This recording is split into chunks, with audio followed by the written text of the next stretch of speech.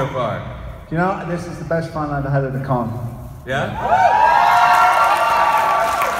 Yeah, no, really, really sweet, heartful people. Yeah. What I've been getting. So thank you so much. It makes it a lot easier kind of carry the day when you've got a lot of good heart in it. Yeah.